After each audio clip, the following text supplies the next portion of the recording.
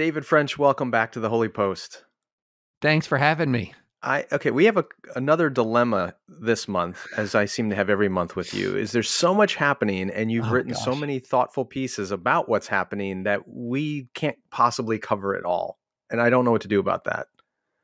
Well, I mean, you know, and especially since just yesterday, yesterday from when we record this, there was this huge Vanity Fair profile of Jerry Falwell Jr. and that thing is like peeling an onion.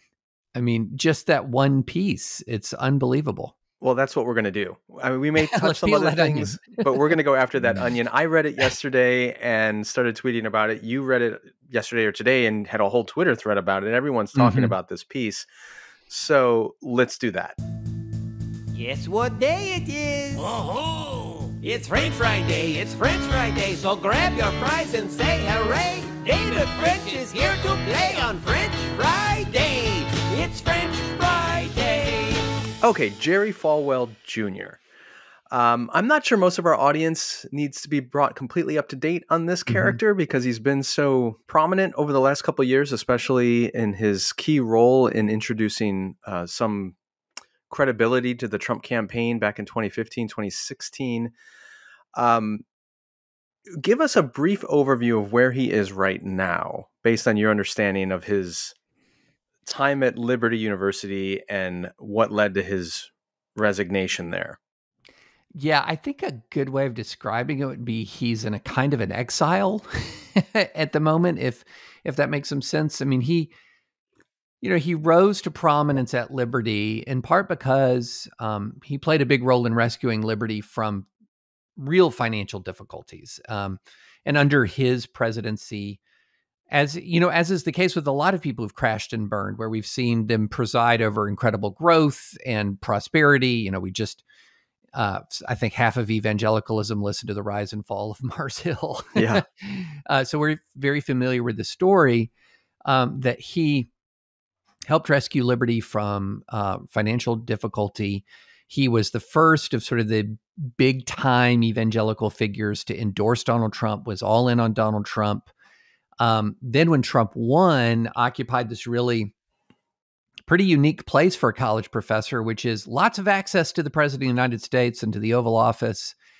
Um, but as he was really sort of ascending to the highest of heights, there was a lot of increasing amount of rather obvious evidence that things were not okay um, with him, with his family, and we don't need to go into all of the scandals. We can go into some of them, but you know, the Liberty Board eventually lets him go, which then triggers him filing a lawsuit against the Liberty Board. The Liberty Board files a lawsuit against him. And where we are now is um, it appears that one of the individuals who was sort of indispensable to uh, Falwell's fall was this pool boy who apparently had an affair with his wife. That's what his wife and, and Jerry Falwell have admitted. The pool boy claims it was more of a uh, thruple relationship, if that's the right word, where Falwell, this was all taking place with Falwell's knowledge and enthusiastic acquiescence and uh, observation. And apparently, this guy's about to come out with his own story. And so, Vanity, the Vanity Fair piece to me felt like opening yourself up to a reporter to sort of get your side out Yeah, first. to get ahead of it. And so nobody's denying that there was an extramarital affair. Right. The difference is the Falwells are saying this is this is an issue of of sinfulness, whereas the pool boy is saying no, this is a scandal because it it, it wasn't. It's, there's a lot more layers to it than just a run of the mill marital affair, extramarital affair.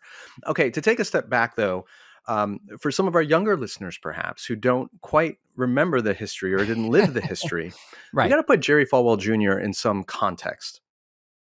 Obviously, he was the president of Liberty University, which is, I believe, the largest evangelical college in the world, at least in the country. certainly in America, Yeah. I would unless there's a unless there's a school I don't know about, it's I think it's the largest in the world. If it if it's not the largest in the world, it's certainly right up there. Right. And unlike many Christian and name only universities, Mhm. Liberty takes its Christian identity very, very seriously. Their mission statement is something about uh, f- you know, forming men and women in the image of Christ, or you know, very evangelical language.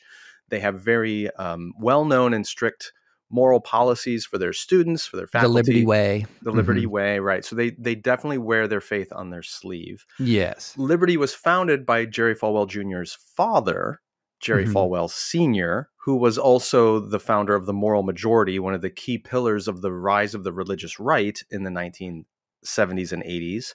So the marriage between conservative politics, Republican politics, white conservative Christianity, all of that happened when Jerry Falwell Jr. Jerry Falwell Jr. was young and spearheaded by his father. So he is kind Yes. of the heir of this whole movement and some of the most influential institutions of that movement.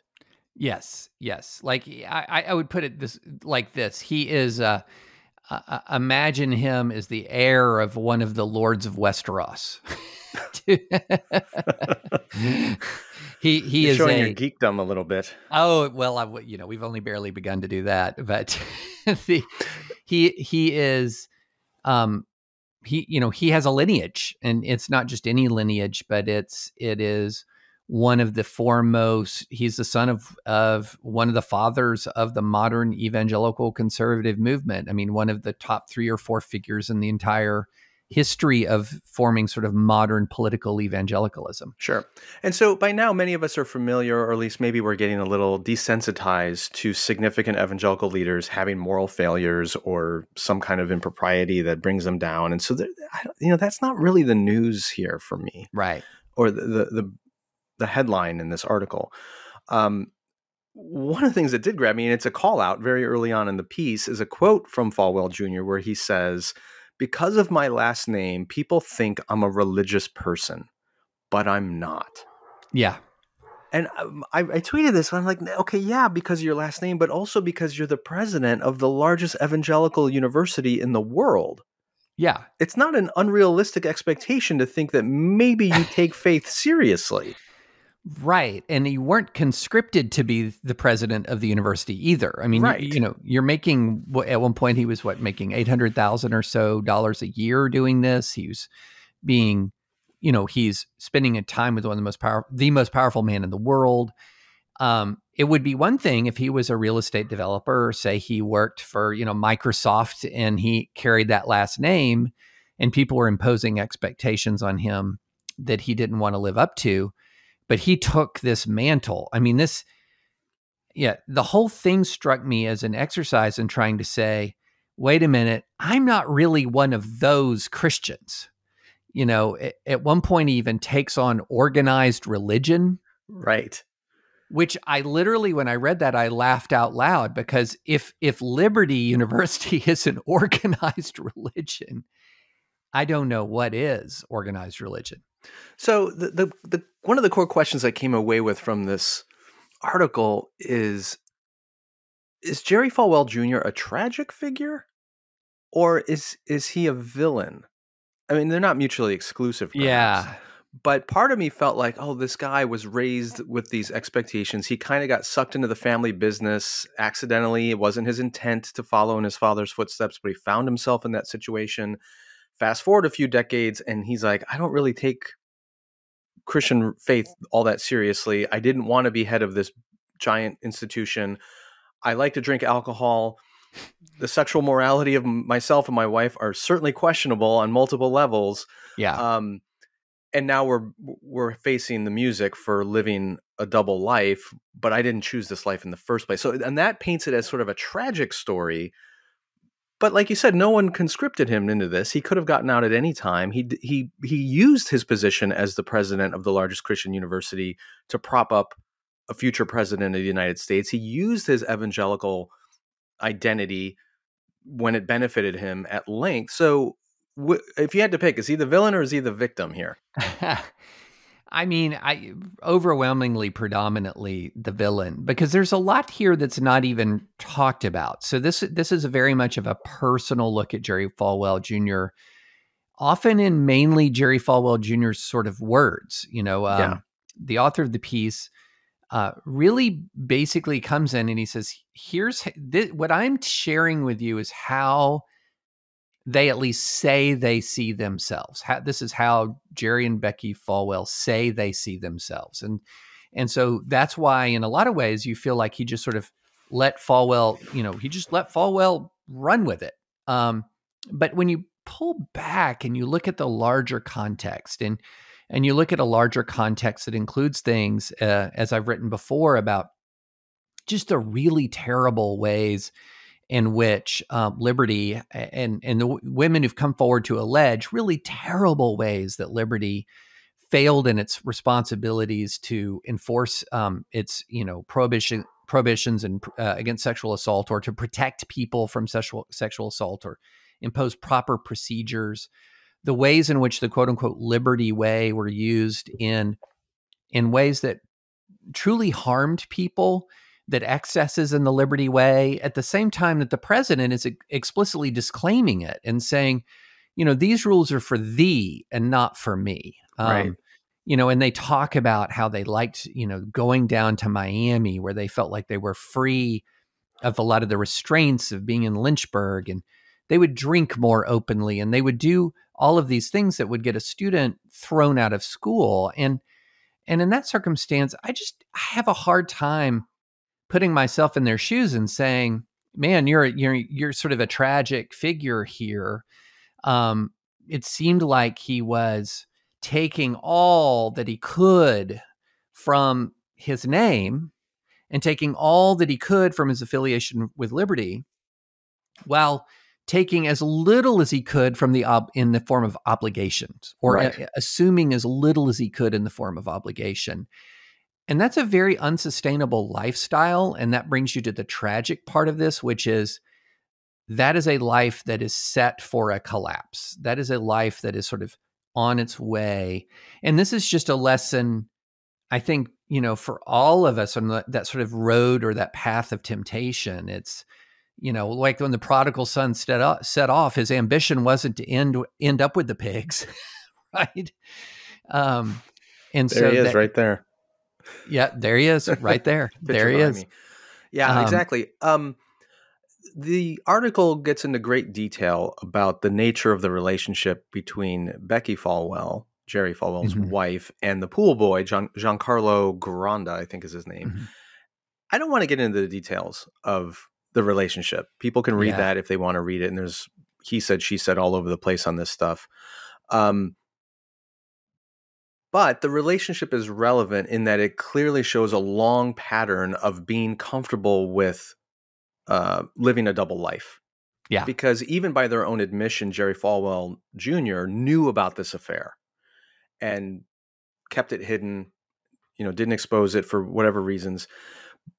The hypocrisy that existed with them is one thing we could spend all kinds of time diagnosing and looking at what are the spiritual implications of that and parallels of the prodigal son, whatever. I want to take a step back though and look at the broader implications institutionally for what does this say about the way evangelicalism is functioning right now in this country. And on that front, where is Liberty's board in all of this? Because here's a guy who, by his own admission, I'm not religious. I am not eager to follow these guidelines, but yet was kept in place at the top of this university by a board that I have to believe was aware of something that wasn't right. You know that that is exactly the kind of thing that independent investigations are for. um, and independent accountability, because I would bet you money that you could bring in a board member in here and they could put their hand in the air and they could say, Skye, I didn't know I promise.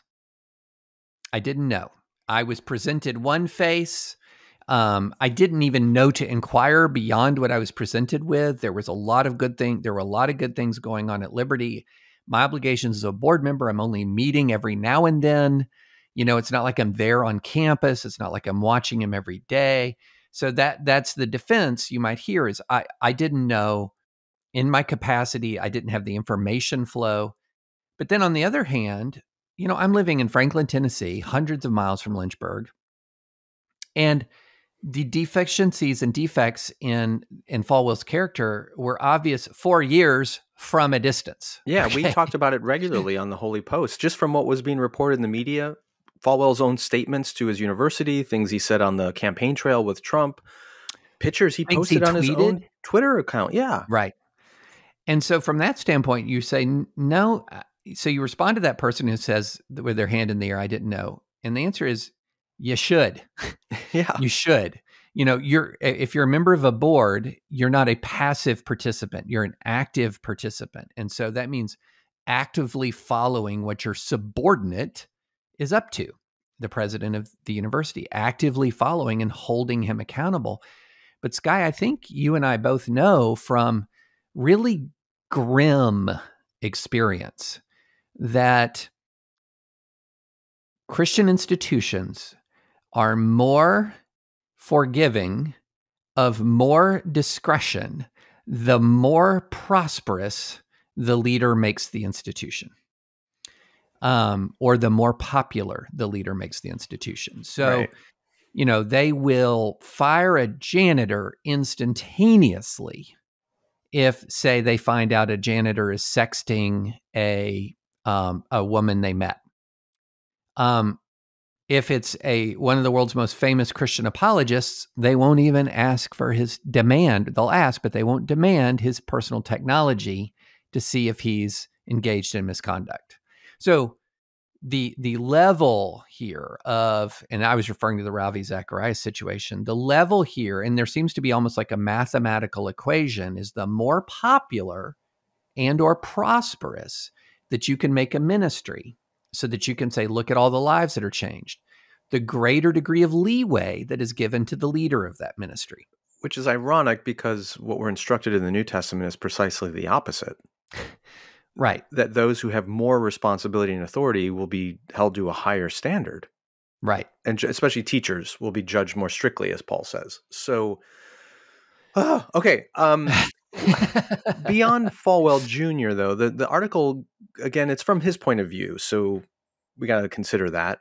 He talks a lot about his family of origin, his parents, uh, his very famous Mhm. father. And he talks about some of the hypocrisies he saw in his father's own faith. And he was a, a very prominent religious leader. At one point, the article says that his father's contradictions would mold Jerry's entire life. And then um, Jerry grew up to learn that he too could have a private life that didn't align with his public persona. And he's he's saying that I learned that from my father. It reminds me of the old the old drug commercial. I learned it from watching you, right? When he the dad confronts the kid about smoking weed. Um, yeah. Eh, which brings into into question the is the entire moral majority Christian right evangelical enterprise is it all just a house of cards built on a terrible foundation is the whole thing just theater You know, boy. So let me say this. It is so obvious to me in reading that profile that Jerry Falwell Jr. is trying to paint himself as a tragic figure. right It, it is so obvious to me that that's what's going on. He throws his brother under the bus. He throws his father under the bus. He he mm. throws his mother under the bus. I mean, in this telling, nobody, you know, even Jonathan Falwell, who, you know, a lot of people I know have a lot of respect for Jonathan Falwell. Everybody is painted in a in a dark manner here. And frankly, when I read it, I don't know what to believe, to be honest. I don't have any real um, sense that Jerry Falwell is a person whose account I should credit. And so, you know, so when I'm, I, I'm very reluctant to dive into does this does this th- does this account tell us anything meaningful about his family?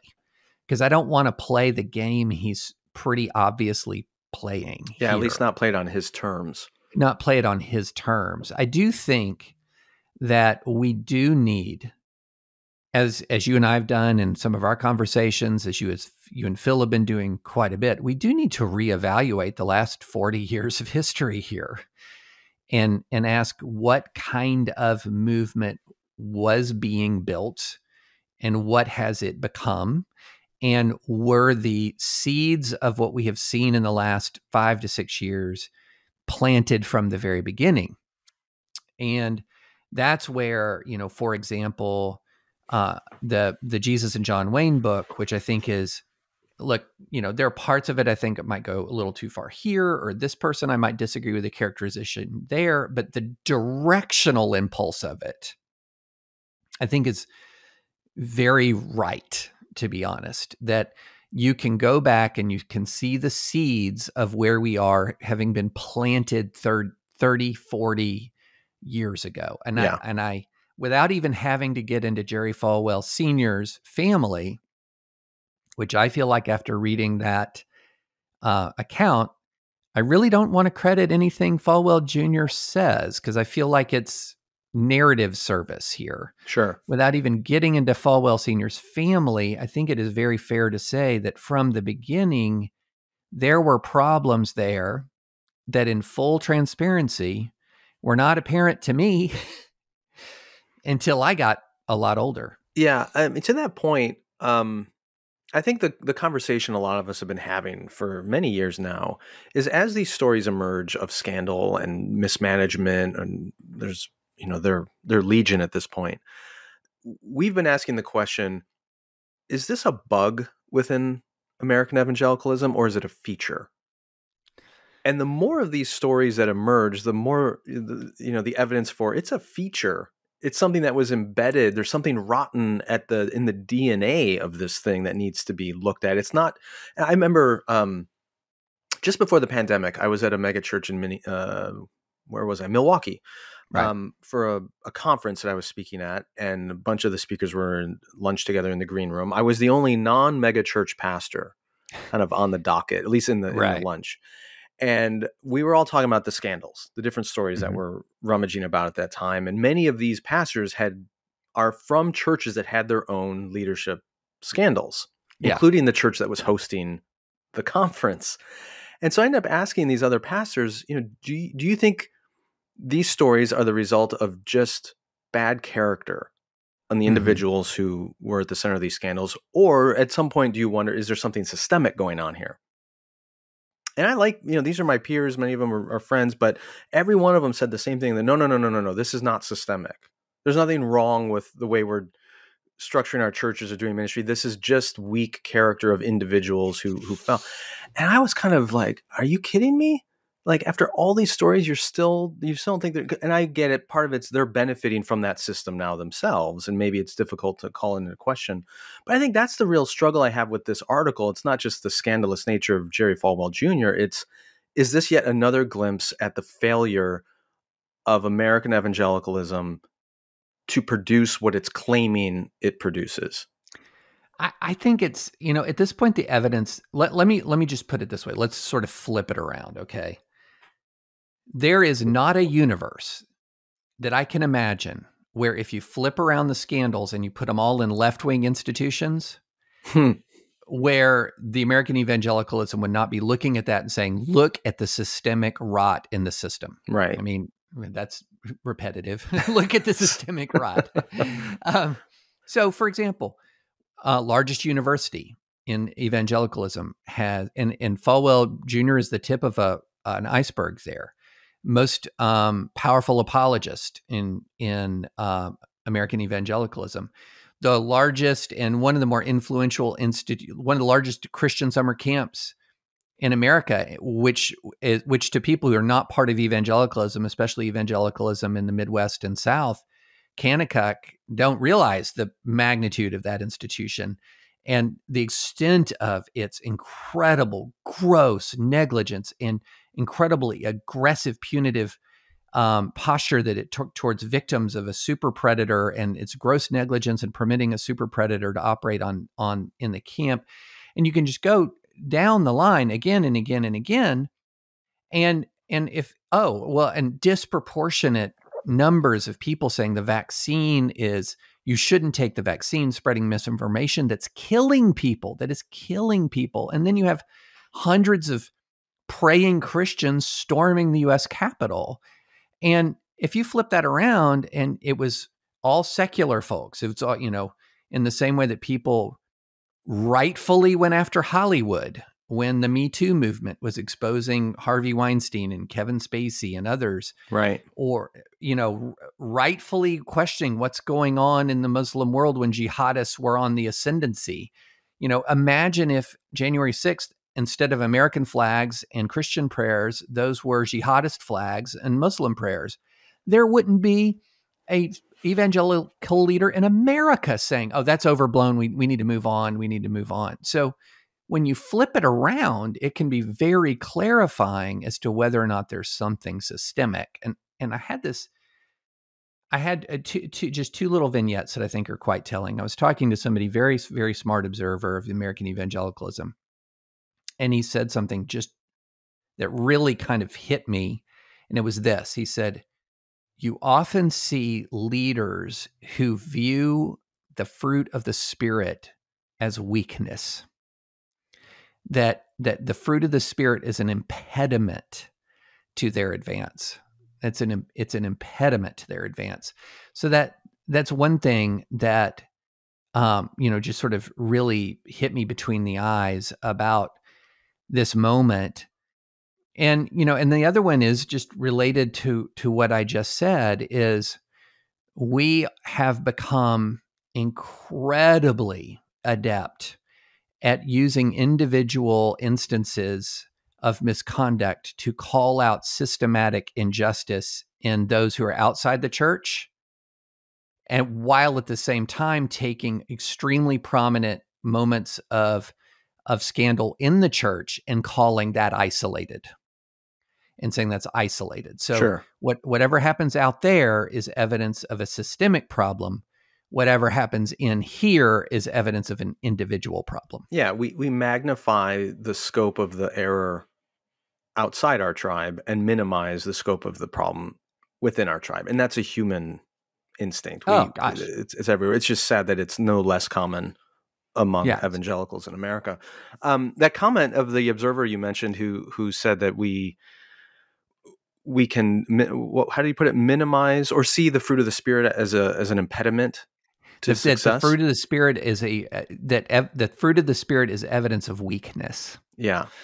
Um, what comes to my mind, I know this isn't exactly what he was trying to say, but people get hung up on that moment in the Gospels where Jesus talks about all all sins will be forgiven except blasphemy against the Holy Spirit, and people, go, oh, my gosh, is what does that mean? And have I done that and everything?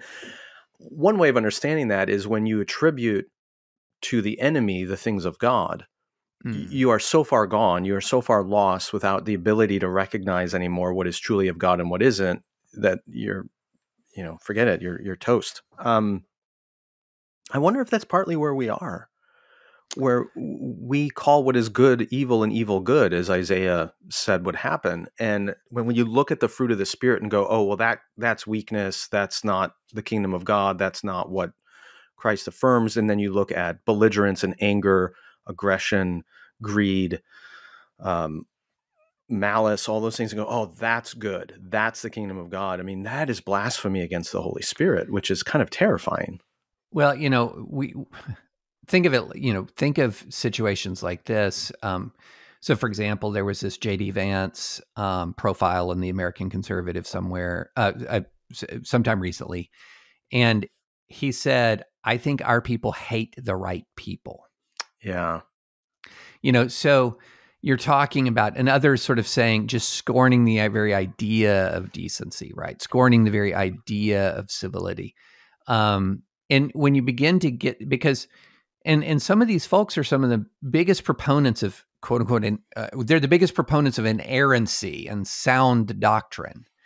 Um, and yet, aren't the fruits of the spirit part of sound doctrine? Right? Isn't isn't someone who's dedicated to inerrancy capable of reading words like kindness patience peace joy you know so these these when you begin to see this kind of conduct and and and this really brings up something i think that's big Skye and and the big thing that it brings up is we have a lot of ideological slash theological arguments that go something like this and that is okay, I'm not saying that if you disagree with me on, say, complementarianism or whatever, I'm not saying that that separates you, it means you're unsaved. But what I am saying is that you're on a road, that if you're if you're the slippery you're slope. dis- you're on that slippery slope. You're Yeah. sliding down that slide. And so I'm not saying that your disagreement with me on inerrancy, i- or I mean on on um, complementarianism, means that uh, you're going to hell or you're not a Christian. But you're on a road that I that I've noticed has you know a lot of people who disagree with me end up le- leaving the faith, kind of thing. Okay, but I, a lot of that, what I'm seeing is something entirely different. Uh, what I'm seeing is, wait a minute, an awful lot of people are looking at sort of the arc, the the prime voices for true doctrine, the prime voices for inerrancy, the prime voices voices for a really, um, you know, uh, highly particularized version of complementarianism, and they're not seeing the fruit of the spirit they are seeing a lot of cruelty. right. They are seeing a lot of of deception. They are seeing a lot of uh, of plainly, you know, the, the scripture says, "Be angry, but do not sin," but a plainly unmerited fury that is leading to sin. And yet, and so they're saying that that we're the guardians of doctrine, but they're sitting there flat out defying doctrine. I mean, not even anything that's controversial between complementarians and egalitarians. I mean, the, the two sides don't disagree about what the fruits of the spirit are, right? They don't. And yet they're just completely chucking that out the window and then advertising themselves as the guardians of true Christianity. And, you know, my wife, so I, I've, I've shared this a little bit before. I grew up in a, a very, very conservative they don't even like to call themselves denomination, but called the Church of Christ. Truly sectarian, and the classic Church of Christ was we're the Christians and nobody, Right. nobody else. So my wife, and this is again not telling any stories out of school because she wrote about it in the Washington Post, was abused, uh, and when she was twelve, sexually abused by a preacher in the Church of Christ, and and the Church of Christ was saying this is Christianity, this is Christianity, and here she is abused. Nobody protected her. Nobody stood up for her. And if this is Christianity, she didn't want any part of that. You know? Yeah. And I think this is what some of these guys need to reckon with. They're not talking to a community that is living a theological mi- world. They're talking to a community that is experiencing the way in which they are being treated. And it completely defies Christian doctrine. And that is so much more harmful than whether, you know, how how much time can a woman spend or can a woman spend any time on the stage or whatever at the pulpit on Sunday? Yeah. Ah, the- amen. Um, bunch of things come to mind. Uh, One is Jonathan Haidt often uses the metaphor of a rider and an elephant. Yes, amen. You're familiar Yeah. with that? Oh the, yeah, the rider representing your rational self, the elephant representing your emotional, more intuitive self. And there are folks out there who think they think they're the rider on the elephant. If we just have the right doctrine, if we just teach Yeah. the right truths, that's all that matters. And the rest of the world, the rest of the church is being driven by the elephant, going, Yeah, but you're a jerk. You're Yeah. abusive, you're belligerent, you're angry, you're vindictive, you're uh, prideful, all those things. And they don't want to follow you. And guess what? The elephant's going to have its way. It's not going to be your rational theological arguments that win the day. But beyond that, I'm I'm 40 I'm almost 46 years old. And so I'm so young, so I'm so young. young. Yeah. Fresh chick here. Um I'm about the perfect age for the the group of men who became very enamored with Mark Driscoll when he was Mm. on his ascent at Mars Hill, which Mhm. As you said, like half of evangelicalism was listening to that podcast. And I remember when I was a seminary student in the late 90s and a young pastor in the early 2000s, and I had many peers who were very enamored with Driscoll and Mars Hill and everything that was going on there. And when I would, whenever I talked to people about that, and then I started working at Christianity Today and got to know some of the people who worked with Driscoll and kind of saw behind the curtain a little bit and was not impressed.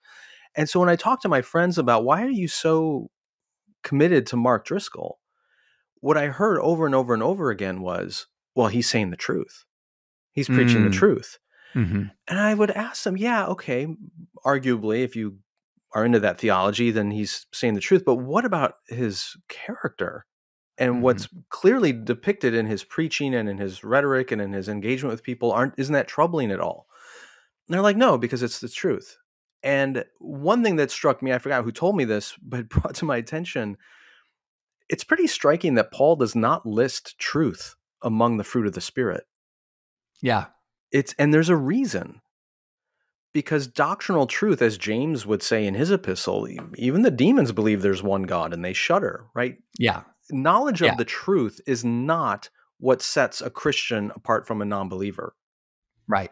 It is it is abiding in that truth, who's the person of Christ, and through your abiding in him, the fruit of his character comes out in your character. You will know them by their fruit, Jesus says. And the fruit in the context of the Sermon on the Mount are things like patience and kindness and loving your enemy and speaking honestly and being meek and humble. And and when you don't see any of that in a Christian leader, but they're saying the truth, well, congratulations. They have the same qualifications as a demon at that point. But why you Well, would hitch your wagon to them and follow them is beyond me. Uh, well, it's it's you know it's not just speaking the truth. It's and and he was reaching people. You know, and he was Right. growing, and he was so that so you know there's sort of this narrative we have that of the modern evangelical church that goes like this, and we've talked about this before. In that in the 50s and 60s, sort of American Christianity had this big split. So the main line departs from Christian orthodoxy and withers. And the evangelical world adheres to orthodoxy and thrives. Okay. And so what that began to do is sort of create a narrative that says if you're adhering to orthodoxy, you thrive.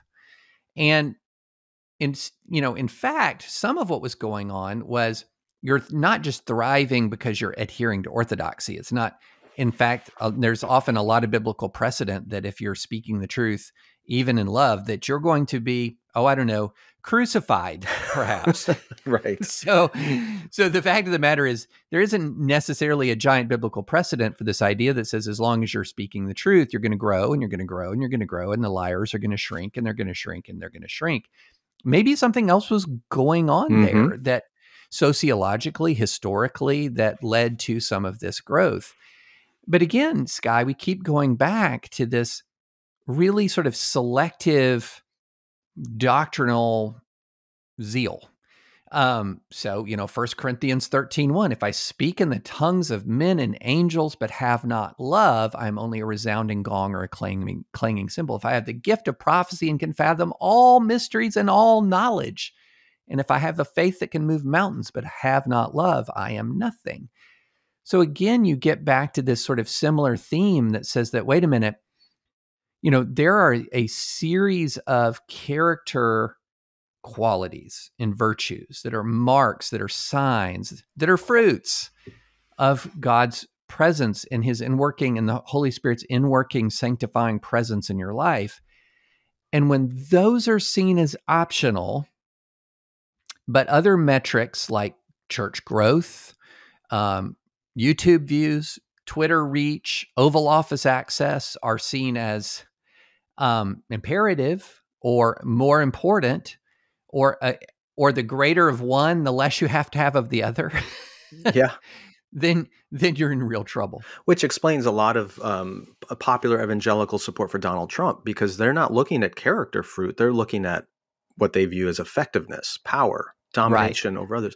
There was, um, when I was a seminary student, there was a story from the Old Testament that I don't think I had really read prior to seminary. That's the nice thing about going to seminaries. You're forced to read things, even in the Yeah. Bible, that you don't take seriously earlier. And for me, it was a pivotal um, moment in my formation as a pastor that changed my perspective. And you're probably familiar with the story, but it's in Numbers chapter 20. And it's the failure of Moses at Meribah. So the, the backstory is the people, as often happened in, in the wilderness, they started complaining. They didn't have any water. They didn't have any food. Why did you bring us out here so that we die? We should have stayed in Egypt, all that. Moses and Aaron go to the tent of meeting, to the tabernacle. They prostrate themselves before the presence of God very humbly and seek a solution to this. And God gives them the solution. He says, Go out to the people, speak to the rock, and it will pour forth water for the people and the, and the cattle and everything else. Moses leaves the tabernacle, gathers with the community, and there's some debate about exactly what happens here in interpretive framing of the story, but Moses rebukes the people. He calls them rebels. And then he Mhm. disobeys God. And instead of speaking to the rock, he strikes the rock with his shepherd's staff twice. And at that point, you go, okay, Moses disobeys. And if you read further, he- this is the sin that prevents him from entering the promised land. And the Lord Right. says, You didn't obey me. You're not going to enter the promised land. You're going to die within sight of it. It's a terrible judgment upon Moses for his disobedience. But the crazy, eh, one of the things, like, you, why did he strike it with his staff? When you know the history of the staff, almost every miracle that God had ever performed through Moses had been with his shepherd staff, right? Mm, it became a mhm. snake before the Egyptian magicians, the parting of the sea, the turning the Nile and the blood, all these things were done with the staff. And on a previous account, Moses was told by God to strike a rock with his staff and it would bring forth fresh water. And it did. So every other time it had been the staff. In this case, it seemed like Moses was under an enormous amount of pressure. He's worried about what's going to happen if they don't perform a miracle. So he relies on what's always worked in the past, which was Mhm. the staff. So it's a it's a case of trusting in a in a tool that God had given him rather than the Lord itself himself. The crazy part of the story is despite his disobedience, a miracle still occurs and fresh water comes out and the people are overjoyed and they celebrate. And so if you were to look at that ministry from just a human point of view, you would say Moses Success. was it was successful, right? Yeah. It was effective, it was relevant, and it's hard to be more relevant than giving water to people in a desert. Everyone was thrilled. It was pragmatic, it was fan- I mean, he'd be writing books, how to draw water from rocks in three steps, and speaking at ministry conferences and everything else. But from God's perspective, he was a failure.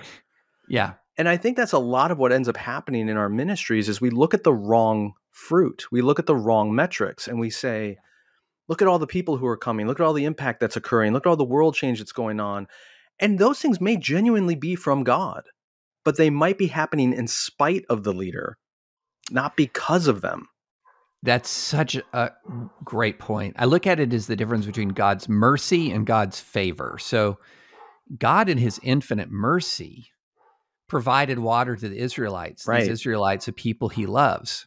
Right. God, in his infinite mercy, if I'm in Mark Driscoll's church or I'm sitting in uh, a camp like Kanakuk and I give my life to Jesus in that moment, God's mercy and love for me is being made evident in that moment. But then what happens is the leaders who are there when God's mercy is being made evident for people that who God loves, then often view that as evidence of divine favor Right.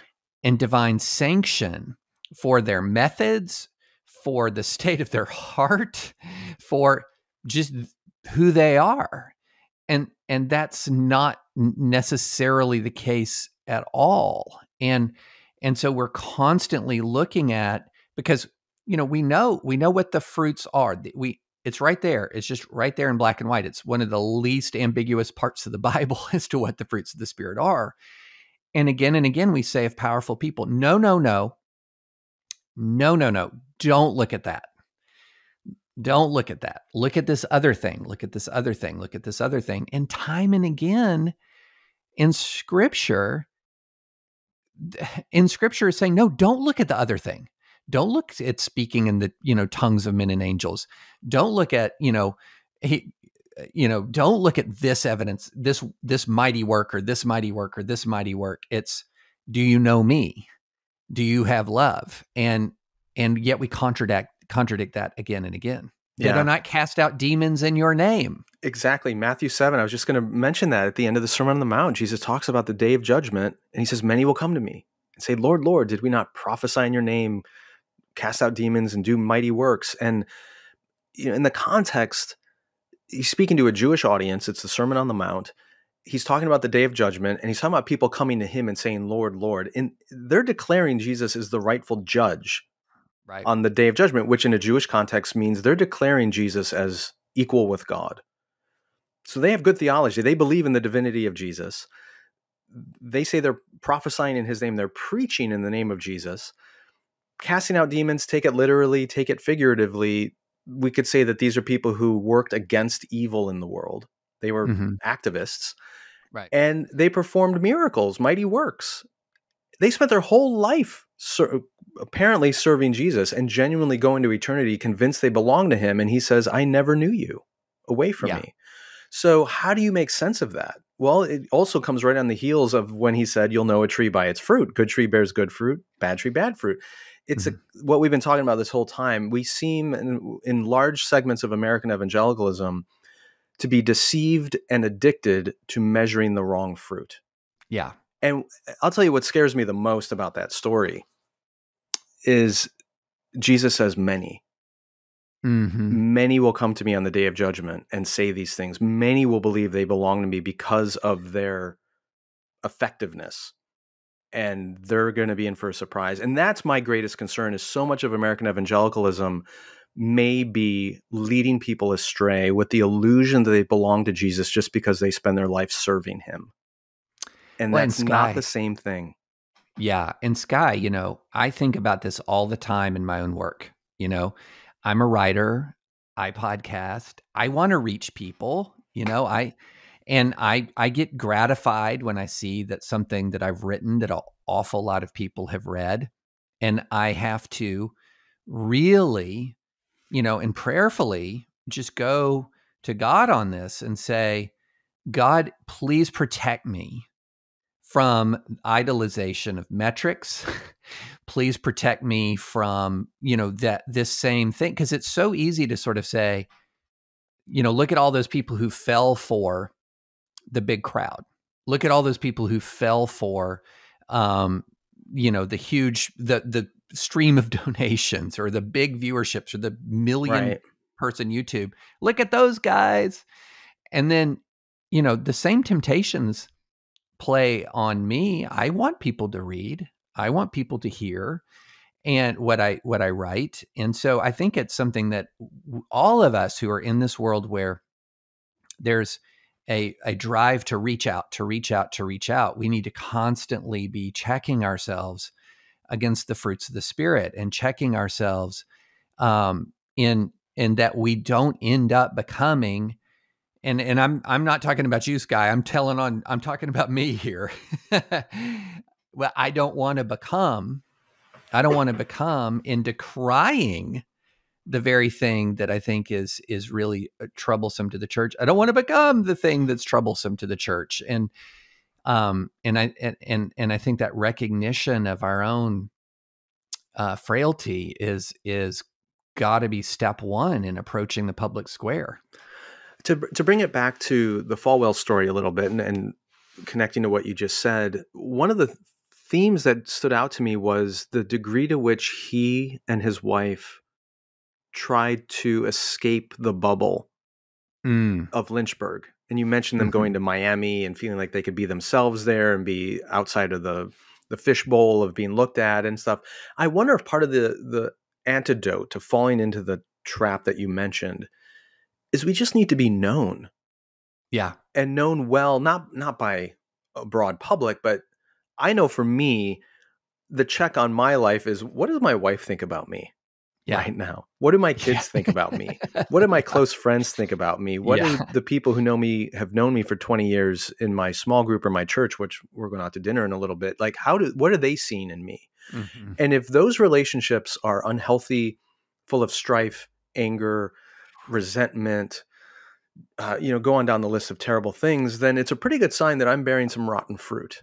Yeah.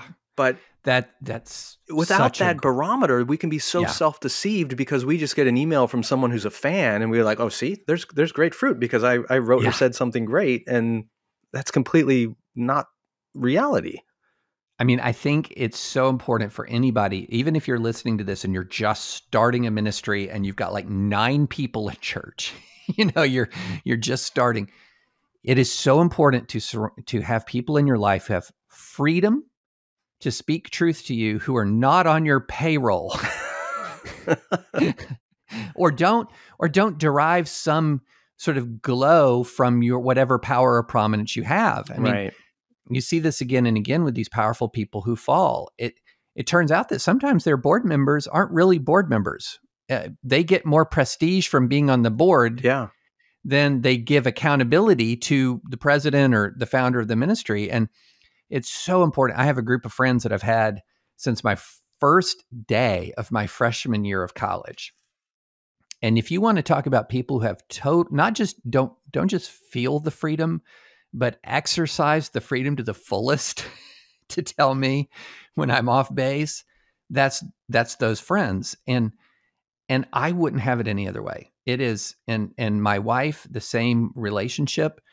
And you know, as my kids are getting older, the same relationship with my kids Mhm. is just that you have total freedom to say and without it being a, costing us our relationship to, to say david you're you're off base you're just off base and i'll give you a super fast story along these lines um, you know as you know and you and i both have the same similar reality that occurs online is we just get attacked a lot and, Yeah, and you get it more than I do, but in Yes. very personal, very personal terms, and and sometimes it extends into the real world and threats and things like this, and and sometimes that can just kind of harden you.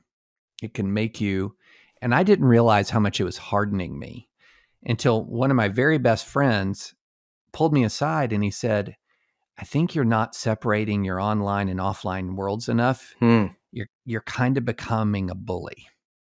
And I was like, "What?"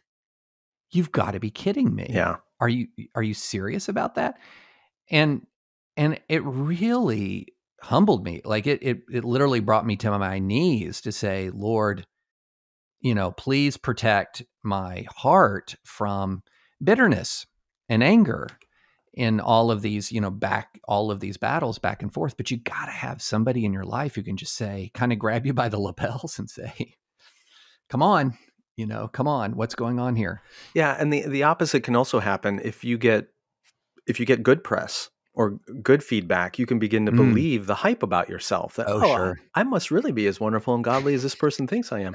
One of the disciplines I've put in place that has been helpful to me is um, emails I get from supporters, from readers, from whoever.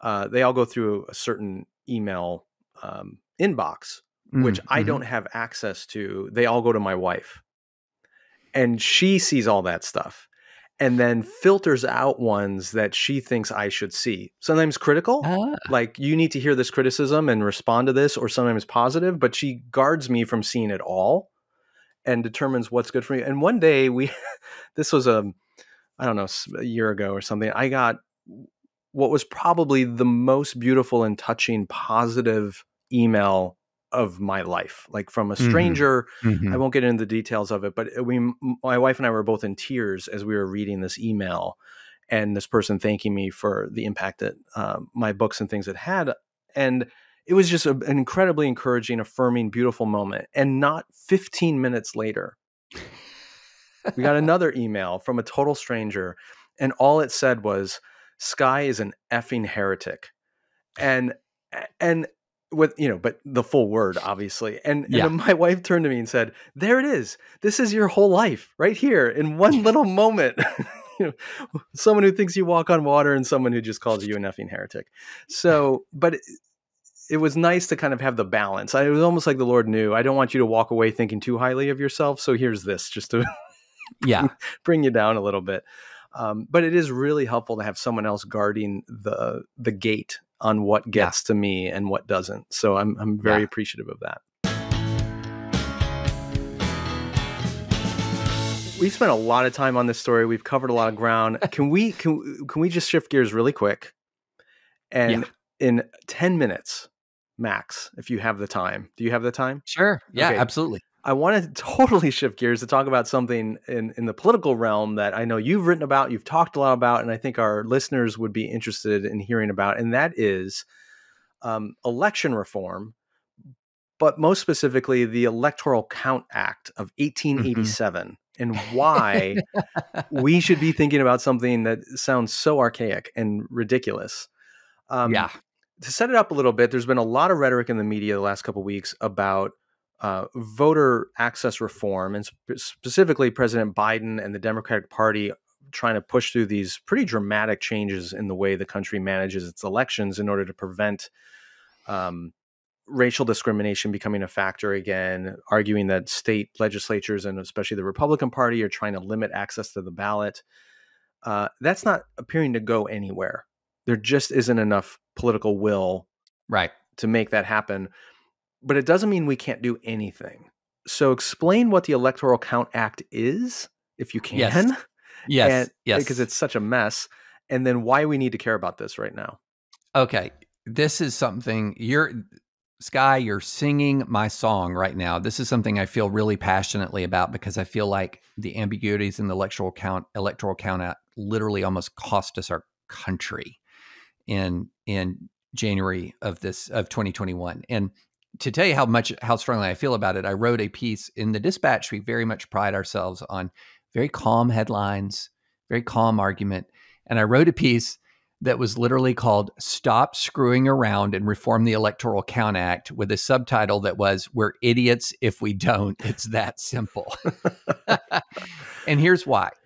So, after the election of 1876, which was a just unbelievable near crisis uh, in American history, I don't need to go into all of it, but it was it was right after the it was soon after the Civil War, a real crisis um, with competing slates of electors and a lot of uh, of of challenging issues. Congress, about a decade longer afterwards, in 1887, passed a law that tried to spell out exactly how Congress counts and certifies electoral votes. Okay, it should be a soup a super simple ministerial act where they just count and certify and only disqualify those electoral votes that have been submitted where there's obvious constitutional defect. Like imagine if a if a state submitted electoral votes for an 18 year old when the Constitution specifies, you know, I have to be over a certain age. Um, but instead, they passed a statute that the key the key provision of it is one 809 word paragraph that I challenge you to read and fully understand. I tried Now- to just read it, let alone understand it. It was non it was uh, impossible. It's nuts. It's nuts. The overall meaning of it kind of leaks through, but the bottom line is what this one 809 word paragraph allows is for one senator and one congressman to call into question the electoral votes of any given state. Then the two chambers of Congress adjourn, and if they if both chambers on a majority vote um, essentially invalidate the electors from the state, those electors are invalidated. and and so now this is something that, you know, in previous years before 2021, people had raised objections, say, for example, to George Bush. It was largely a very silly symbolic act where they're just trying to signal opposition, but there was never any real concerted move to try to use the Electoral Count Act to overturn an election. All that changed in 2021.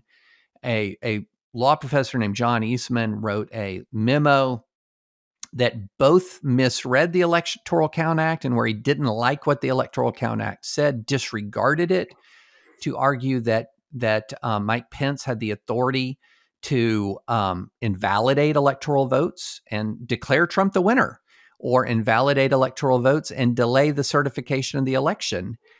And then other um, uh, senators and congressmen, for example, Paul Gosar and Ted Cruz, combined to challenge the electoral votes of specific states. And this is what led to a lot of the chaos on January 6th. This is what led to Donald Trump arguing before January 6th that Mike Pence should have played a key role. And so, what we have to do is avoid that mess. And there's just a very few simple ways to do it. One very simple way to do it is to say it is not just one member of Congress and one senator who can challenge the electoral count in a state. It's not it. You have to maybe you have to have a third of the members of Congress or a third of the Senate to challenge.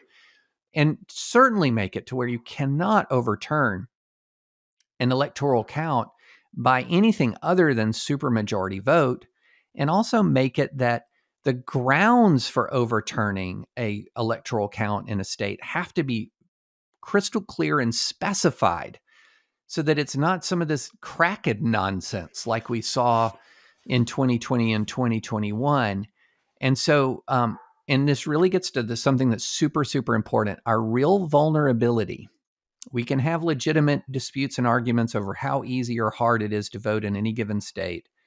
But our real vulnerability is not in vote casting, it's in vote counting. Right.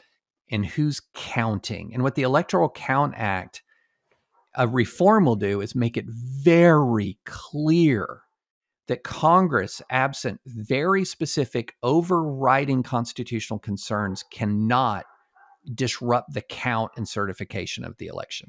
Okay, a couple things. Um, some of what's come out in the investigation about January 6th and what the Trump administration was trying to do showed that they had a very detailed plan based on an am- based on the ambiguity of the Electoral Count Act to try to delay certification of Biden's win and keep Trump in office beyond January 20th. Strangely, there was some likelihood of success on their part had the insurrection not broken into the Capitol that day and disrupted the whole thing. So, in a weird way, they their own people disrupted their well thought through plan that ended up screwing up their attempt to overthrow the election. Now, that, um, yeah, that's the wild. That's that's one of the wild counterfactuals. Yeah. Okay. Secondly, though, um, is there enough will on the part? I, I think the Democratic Party is in line with reforming the Electoral Count Act to make it less ambiguous and, and raise some of the the standards that you just mentioned. Is there enough will on the Republican side? Do we have enough congressmen and senators on the Republican side of the aisle to actually do this?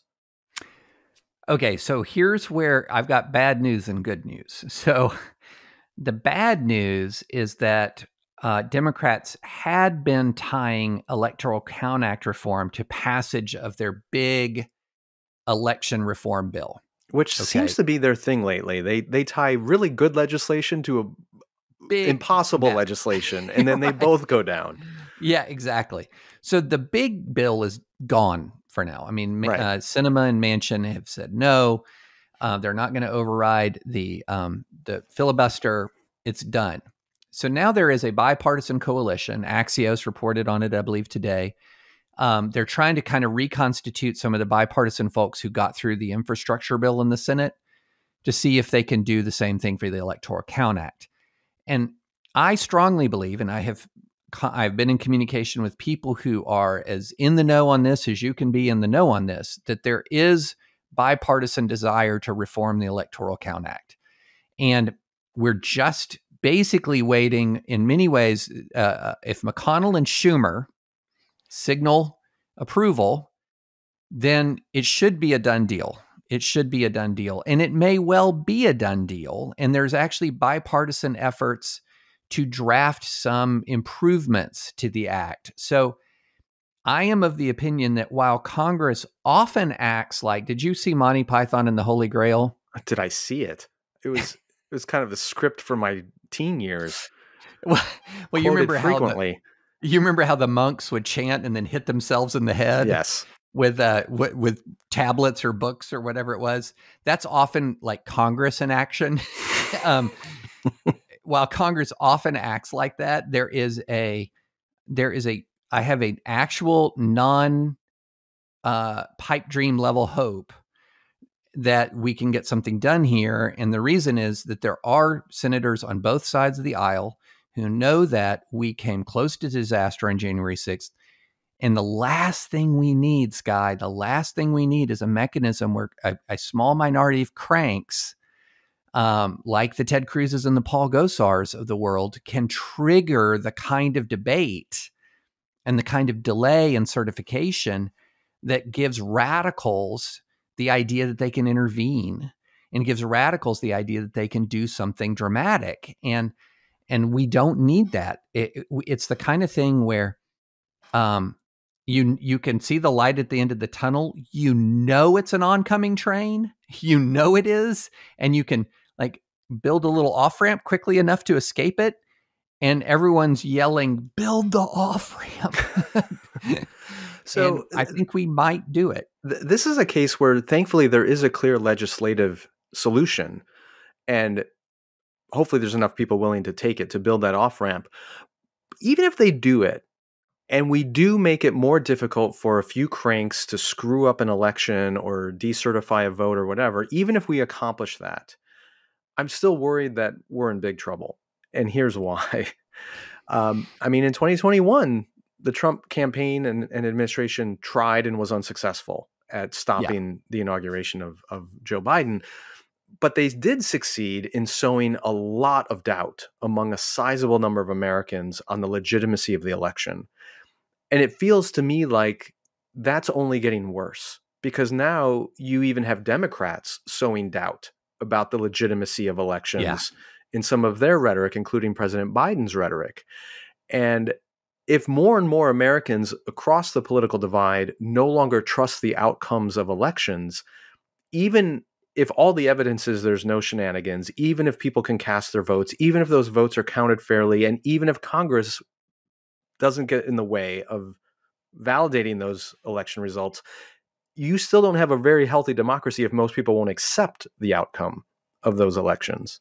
Oh, that is so true. Um, a, a, really sharp guy uh, named Coleman Hughes tweeted out something, in fact, today, where he basically said, Look, we're at a position where you could have every election be free and fair. Yeah.